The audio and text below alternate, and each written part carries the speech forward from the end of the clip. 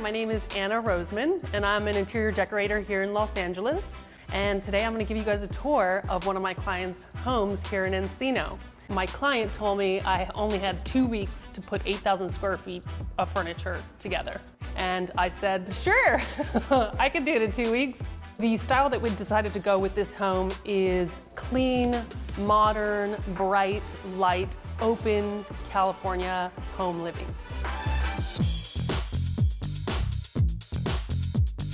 So the first room I did was behind me. So her kids are very musical. They had a baby grand piano. I said, why don't we make it this little like cute music area where the kids can entertain if you ever have guests and play their musical instruments, play piano, play the drums. So she really loved that idea.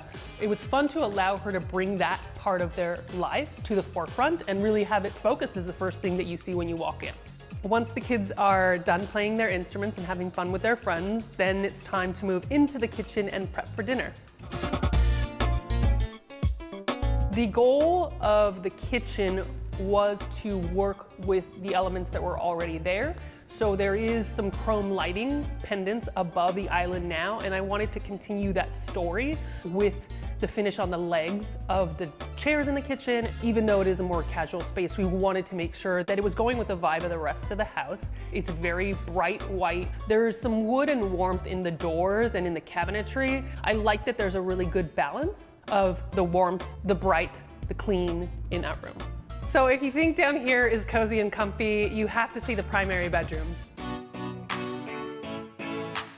The client did really want a homey, comfortable, casual space, but she also has a touch of glam to her. We achieved the look that she requested in her primary bedroom by adding a very low, sleek, modern bed, also white linen. We added four velvet barrel back chairs. The velvet touch was bringing that level of glam that she wanted. It has also huge bifold doors that open up into this gorgeous view of the valley and the infinity pool. Having an outdoor deck out of a primary bedroom is really great because you can enjoy the outdoors and the view, but you also have a level of privacy.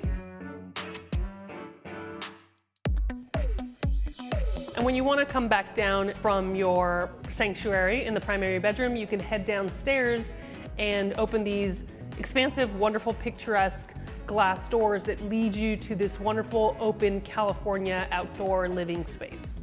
My client does a lot of entertaining, so what we did out here is we wanted to have a few different spaces for people to hang out. The obvious is the lounge space in front of the fire pit. You can kick your feet up, have a drink, hang out.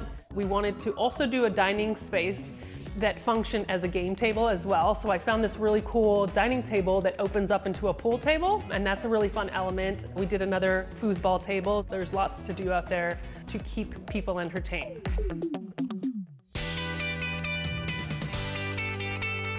Well, thank you for joining us on this tour of my client's home here in Encino, California. I hope to see you guys again at another property I've designed.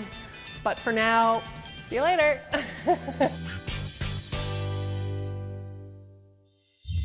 There's even more stunning homes and designs just waiting for you.